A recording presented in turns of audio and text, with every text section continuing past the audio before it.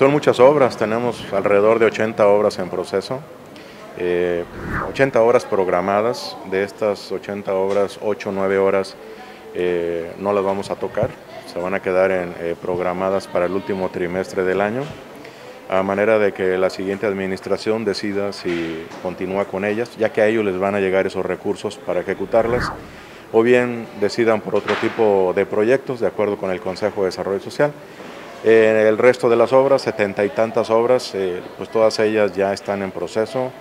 Ya tenemos 10, 15 obras que están terminadas, prácticamente ya terminadas. Otras tienen un avance del 30, 40%.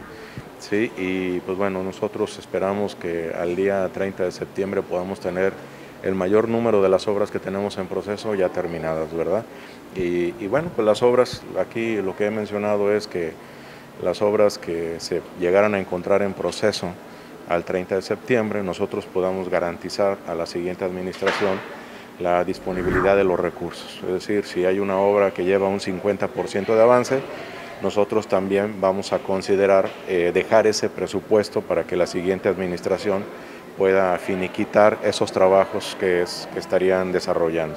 Obras que pudieran, yo creo que pudieran quedarse en este proceso, en este momento pudiera pensar que cuando menos 9, 10 obras a lo mejor pudieran a lo mucho quedarse en proceso. Es muy aventurado en este momento decir cuáles y cuántas, pero sí, sí es poco el tiempo, ya dos meses los que nos restan, como para obras que van iniciando poder tener ya concluidas.